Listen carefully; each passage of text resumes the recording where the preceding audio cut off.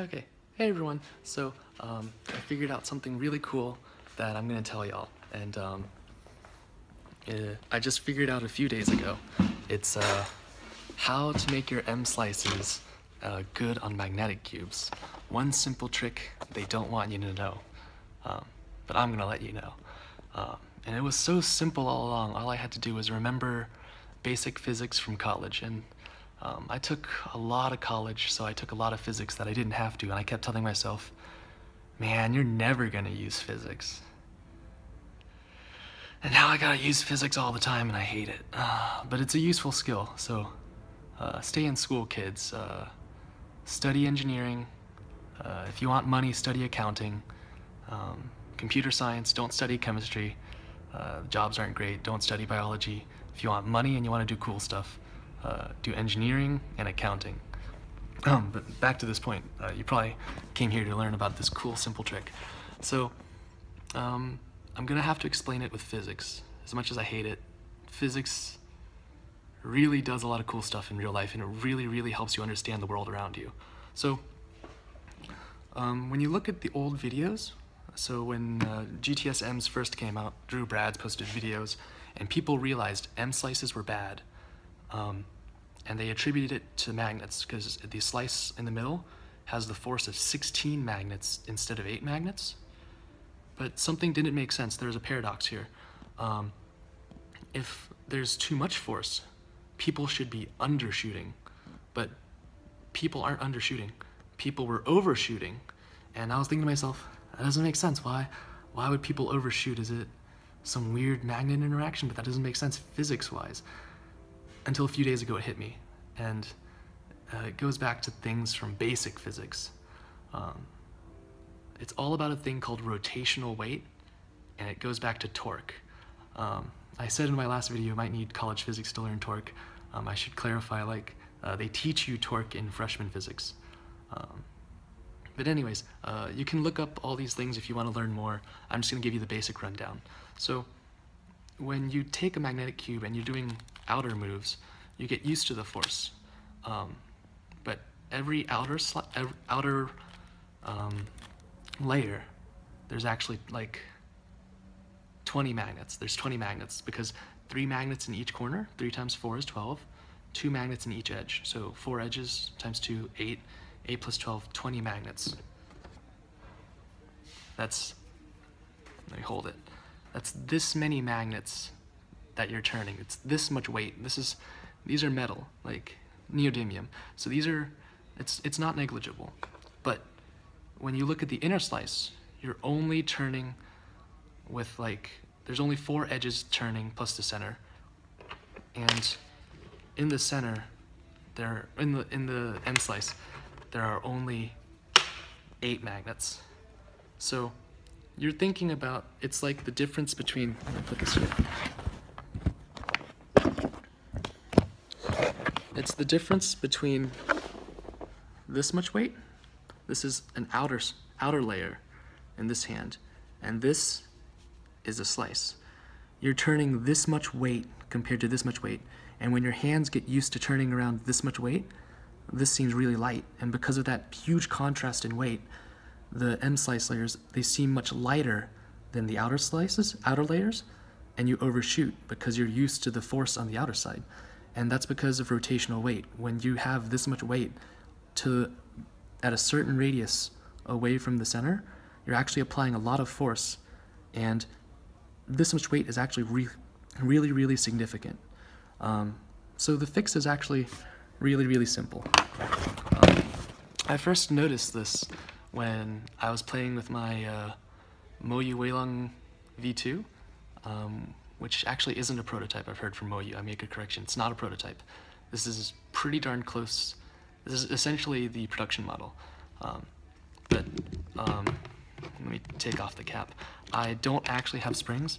I use the maglev tension. Um, and it's, it's uh, because of the magnets in the core, it's really, really, really heavy. Um, but I noticed because of the weight, I was nailing all my M slices. And I was thinking to myself, why is it not like that in this one? Like, I was nailing all my M slices on my modded one, but not this one, and I started thinking back to physics. It was rotational weight. So how can we do this in all cubes without maglev tension? Because the maglev tension is really expensive and we're not going to sell it because it's like really, really heavy. It's not for everyone because some people don't like the weight and it's also pretty expensive. Um, civil, the solution was so simple. You just have to add weight to the inner slices um, in the form of the center cap. I just glued a washer into all of the caps and I balanced the weight. So there's just as much weight in the middle layer as the outer layer. And suddenly I was nailing my M slices. Um, it was such a simple fix for such a stupid problem um, that I just felt really, really dumb. Um, so there you go. The solution is just uh, glue a washer in there to balance the weight. Um, and the cool thing about gluing the washer in there is because, because the weight's in the center, and it goes back to the rotational weight, it doesn't take for as much force to rotate this as it does weight on the outer radius. So when you're turning outer layers, you don't even feel the force in the middle. It's only when you do the inner slice. But the weight when you pick it up, it's a, it's about like 10 or 12 more grams. So if you don't like really, really heavy weight, um, you won't like this. But for me personally, adding that weight to have the security in the M slices is crucial because I need to nail um, H perm, U perm, uh, certain things like that um, to get really good results. Because even in ZZCT, I still get M moves. Um, to me, um, I get used to the weight after a while, and it just reminds me of the old school cubes which were around this weight. Um, so yeah, just glue and washers, your M slices become good because they balance out the weight. Um, so um, to end this video, I'm going to tell y'all a bunch of other uh, small random details. So Project Boron 22, I got your responses. Um, I'm going to read out the statistics in a little bit, but I told the boss, um, I gave him all the details and information and stuff, and he's um, still not fully convinced. He he still doesn't like the colors. Um, the gray thing is a big uh, deal breaker, um, even with all the opinions. So let's see what the testers say. Um, with the, the Valk, I uh, modded the Valk with the boron treatment, and I noticed Chi plastic doesn't react as well as Moyu plastic.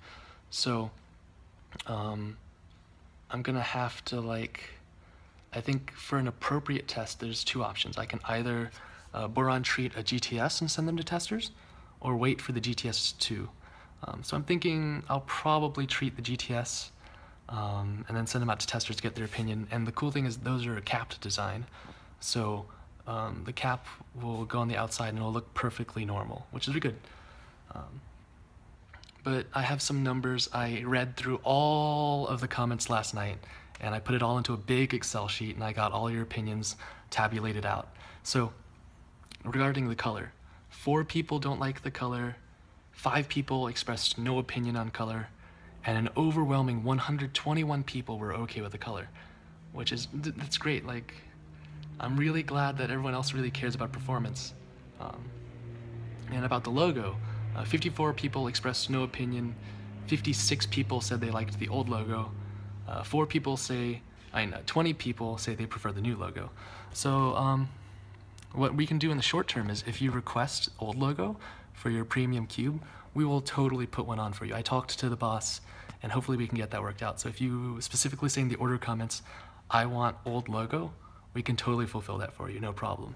Like, um, this last video was actually a pretty cool experience. I got to, I got way more community response than I thought I would, and it, it was nice to engage uh, the community because um, I think that's what we need to do as a cube store. We need to uh, understand the community's wants and needs and better gauge you directly and actually like give you feedback. Um, that's important to me. Um, I can't respond to everyone, sorry. Um, but it's good to get everyone's feedback and we're gonna use this feedback. I'm gonna try to get Boron released.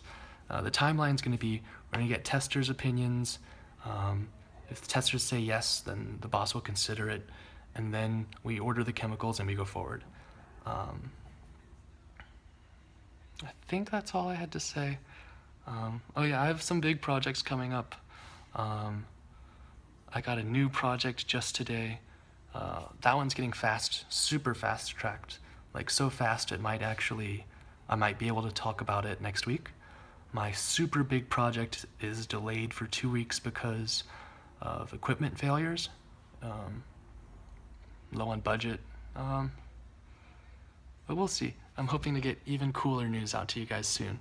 Uh, I'll keep you all updated on my projects, and um, this YouTube thing is pretty fun. So, uh, good luck getting your M slices working, and uh, I'll talk to you in the next video.